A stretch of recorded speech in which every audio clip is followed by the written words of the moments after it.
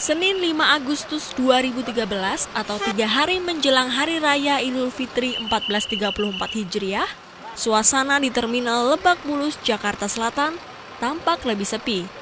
Meski kemarin sempat mengalami lonjakan jumlah pemudik hingga 20 ribu orang, namun hingga Senin siang jumlah pemudik tak lebih dari 2 ribu orang.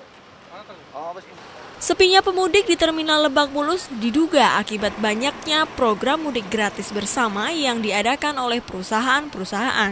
Uh, kalau menurut analisis kita, ya kita mungkin secara bersama bisa mengetahui mungkin uh, ada faktor faktor penurunan penumpang arus mudik ini juga dengan adanya mudik baring gratis ada dari beberapa perusahaan swasta dan ada instansi-instansi yang menyiapkan untuk angkutan mudik gratisnya. Meski pemudik terbilang sepi, Terminal Lebak Bulus tetap menyediakan 659 armada bis untuk mengantisipasi kemungkinan lonjakan penumpang pada dua hari ke depan. Bila di Terminal Lebak Bulus sepi, suasana kontras terlihat di pusat kota Jakarta. Kepadatan lalu lintas terjadi di ruas Jalan Jenderal Sudirman menuju Bundaran Hotel Indonesia.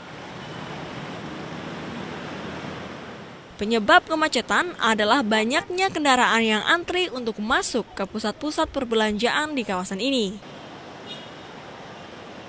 Jalan utama ibu kota seperti Jalan MH Tamrin juga cukup ramai dan lancar.